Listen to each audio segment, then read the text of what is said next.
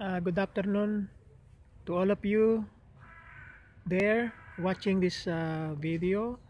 Uh, today is our day 11 here in uh, somewhere in Tel Aviv inside the base. Uh, today is March 7. Um, we don't have any too much uh, things to do inside the base. We're just doing our normal uh, day work.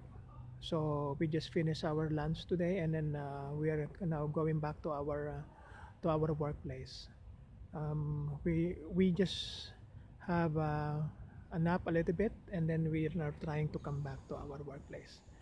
So last night we have a visitor from the uh, Israel Defense Forces. So so he um, explained and uh, shared with us a lot of things going on inside the army.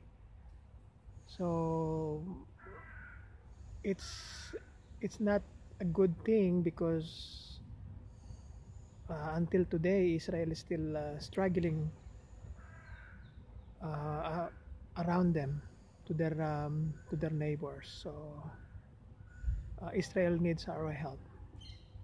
So tomorrow we're gonna be working half day. We will finishing around 11 o'clock. Then we will going back again to downtown Tel Aviv for our weekend. So I'm wishing you all the best while you're watching this uh, video and shalom again from Israel in Tel Aviv. Have a good day, everybody.